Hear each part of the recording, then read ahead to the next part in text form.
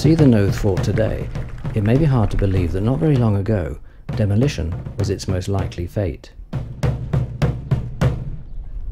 This is the story of a remarkable rescue, following the fort's glory days in the reign of Queen Victoria to a newfound glory in the 21st century.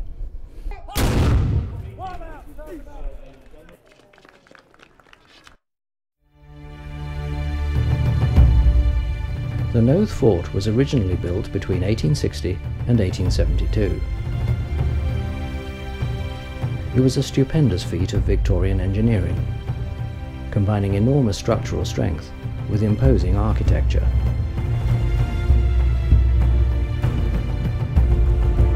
Uh, as an engineer, it fascinated me because in the Victorian era, the Victorians were not, they, they didn't separate art from architecture, from engineering and construction. It, it was all merged as one, and, and they were all, uh, they all complemented each other, and you can see that in this fort. I mean, it's, it's functional, very, very strong structurally, uh, but it is also artistic. Um, the, the, the way the stones were carved and shaped, and uh, it was made to look right and to look good and, and substantial. It was designed as part of the network of defences protecting the entrance to Portland Harbour against the threat of an attack from France. For 75 years, the Nothe Fort would be occupied continuously by the military, constantly adapting to rapid changes in gun technology, from the muzzle loaders of the 18th century to the breech loaders and rapid-firing anti-aircraft guns of the 20th. After World War II, the military continued to occupy the fort on a small scale, as a radar post. But in 1959, they left for good, selling it to the Weymouth and Melcombe Regis Borough Council. As it turned out, the council had no idea what to do with it.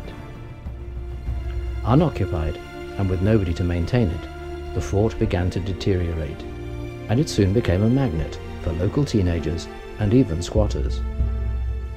The, the military had sold the fort, as they had with all the other forts around the south coast, to the various local authorities concerned. Now, the local authority here uh, didn't have the resources to, to look after it in, in any real way, and all they did is just lock the door and walked away from it. And uh, so it was very easily breached, uh, there was no security. So in a, in a very short time, it was um, occupied by um, various people. For instance, there were flower people and uh, various other uh, uh sets of uh, individuals who, uh, who came here and who, who um, resided here. Of course, every lad in the town of worth his salt uh, uh, was a challenge to whether they could climb the walls and get in. There were three main ways to get in. The easiest way was someone used to smash the padlock off and everyone could walk in. That wasn't really favoured with a lot because that meant anyone could get in.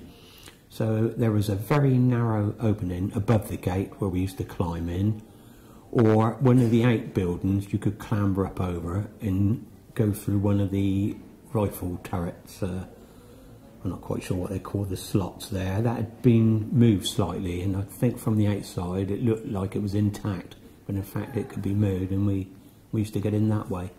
The fort was very dark, yes, and um, we must have been quite brave, and we trusted the people that knew it, and they would just like guide us in, hold hands, and um, then we'd go through various underground passages, and then we'd settle in what we called our room, and then we'd have candles then sometimes. In the early years, one of the big problems was to keep these, uh, these villains out of the fort who had been here for years. And uh, it was quite remarkable. What we did all sorts of things to keep them out. But uh, one of the fine places of entry that they had was that there, there was a, an armoured electrical cable that ran up the outside walls of the fort uh, looking out onto the Portland Harbour side. And uh, they used to, to go, come along on the, on the rocks below and then shin up this cable, use it to, to come right up and come into the fort through on the, on the far side, on casemate 26. We, uh, we, we actually saw some people in here one day, couldn't figure out how they got in. And, uh, but we spied them going down the cable on the side on the side of the fort. So this was we hadn't realised that this was a new way in. And eventually, after the Torrey Canyon disaster, the council made a real serious good attempt at closing all the entrances, which uh, they did. So the only way was in was up and down the sea cable. But um, it was very dangerous, really, extremely dangerous looking at it. Uh, and um, there were even girls climbing up this uh, some, sometimes. But uh, one day in particular, I was in here and my girlfriend came. Um, it's probably uh, 17 at the time, I would have thought. And uh, I, I climbed in, I was been in her for quite a while, and uh, she made herself aware and uh, well, I, I was aware of the fact that she was there and, and she tried to climb up. She got about two thirds of the way up and got stuck. And so there was just uh, there was just no way she was going to go up or down. It was just as dangerous to attempt either. So um, I had to try and find a rope somewhere. Well, I found a rope very quickly actually. Uh, so I had to fix it up and climb out again and run round to uh, where she was, uh, stuck on the rock face, and uh, climb up behind her and uh, hold her feet to the wall and, uh, and manage to help her back down again with no problem. It was a running battle to keep them out. And when we arrived, of course, the, the main gate was covered in barbed wire at the top and all sorts of things. And apparently they, they, they had to come up here practically several times a, a, week to sort of repair the, the, the defences. now and again they called us out. yes, yes. You sort of have a peep, nobody in sight, and then suddenly they, they'd wait for us all to come out, and then they'd appear from nowhere. They wouldn't just jump on the first one out because they knew the rest would scarper. Yeah. But mostly, although we felt it was grossly unfair, because we was like two of the youngest, we'd get taken home. But the blokes were just giving a caution or saying you shouldn't be up here, and um, they'd go on their own way. But it always seemed to be, you know, they're picking on us. I was with a gang already coming in here, and Debbie and some of her friends started coming up here probably not realising we were still here. Um, I think one thing led to another and we started hanging around together. And uh, obviously we were just friends. Uh, we had a police raid one day when by this time we were all outside at the Nothe Fort in the grounds and obviously the police, police cars are uh, cruising up and down obviously to see who was in the area. So I told Debbie, I said, quick, get hold of my arm, let's look like a courting couple. Best chat up mine the, ever. The police, it does sound uh, old-fashioned, but the police look, took one look at us and went on. For these unofficial occupiers, the fort was like a home from home. Its dark underground passages and lonely atmosphere only added to its appeal. Well, it was totally overgrown and derelict, but it was somewhere that we used to spend time just meeting up. Um, it was a place to get away from parents and authority. so, but it was it was dark, dingy, cold, really exciting. For many years, there had been rumours of the fort being haunted, and there were certainly some occurrences that weren't easy to explain away. The very first time when we were coming in here, uh, as nine, ten year olds, uh, a friend of mine from the military barracks up the road, his dad was in the military, we uh, we were coming in here with a dog and uh, on, on the passages on the side of the fort. And as we were coming through a window the dog started making a very very strange howling noise. And there was a whistling sound and and the fact that the dog was so frightened made us frightened of course and I think there was two of us maybe three and we all just looked at each other and scrambled from the window. it was a scramble to get out. We were really frightened to death. So we called that the Whistler's Alley. We did hear some things that none of us could actually explain. It's like supernatural kind of things. And as we talked about it amongst ourselves, we used to scare each other even more, which made it more real. But we did hear whistling, as in the whistling gunner, but it wasn't like the sound that you hear downstairs it was um, a lot quieter and a lot more solemn. And we used to hear talking and, and chattering, and there was nobody else around. So, and that was very, very exciting. I know people have said it's, it's haunted. Well, Not one for ghosts, but I can, I can understand people getting that sensation because it really is uh, rather weird. And you're here totally on your own, which, you know, there weren't any labels or notices up describing what was this. I mean, there were notices about shell store number six and things like that, but nothing, an engine room, but um, nothing else to explain what was what. So it, it fired the imagination and made me certainly want to find out more about the place. It was becoming increasingly clear that something would need to be done about the fort.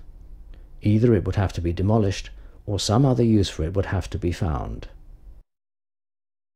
All the woodwork, pretty well, pretty well all the woodwork had been uh, damaged or burnt.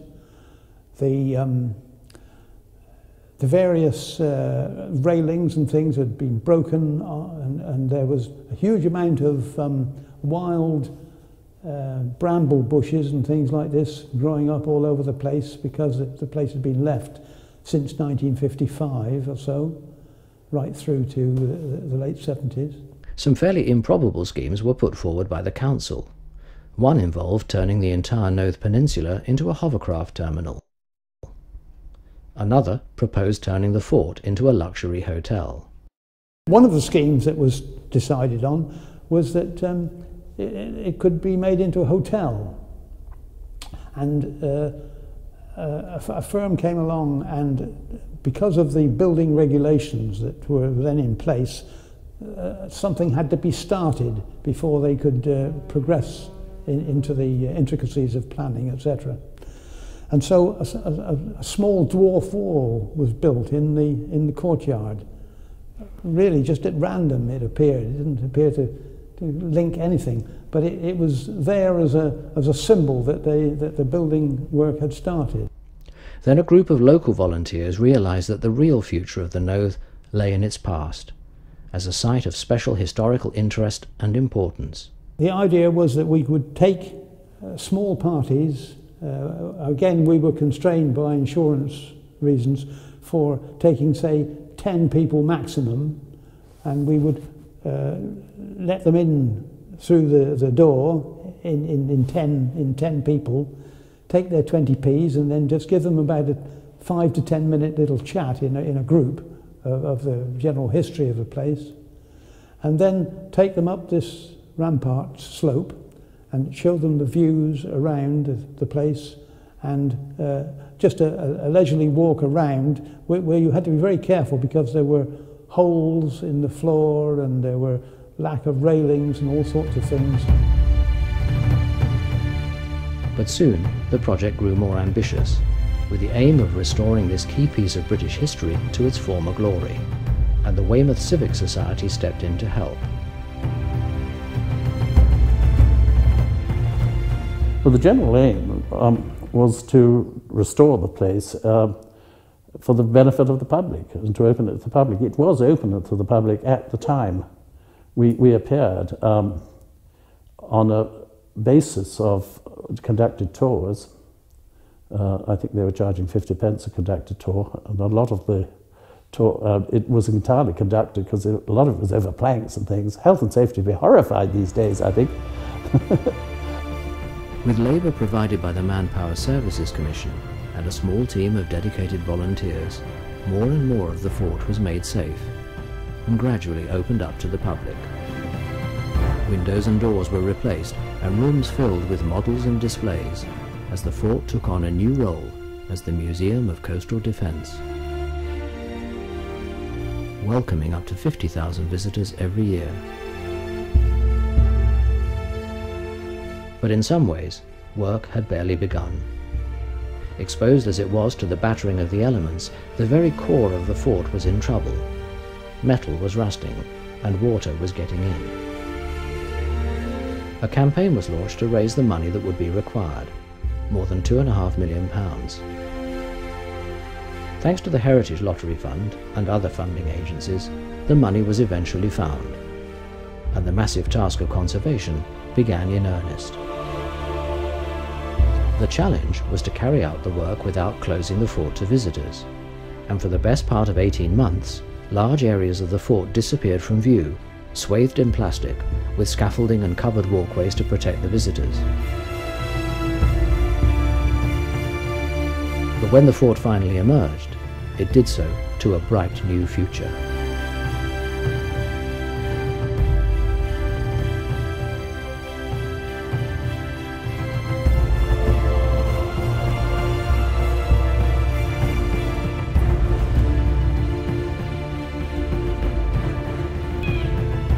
Not just as a site of enormous historical relevance in itself, but as a venue for activities of every kind. From education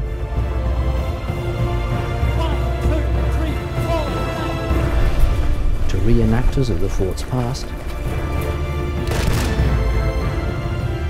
to modern drama and modern music. And of course, the fort's walls still echo to the sound of cannon.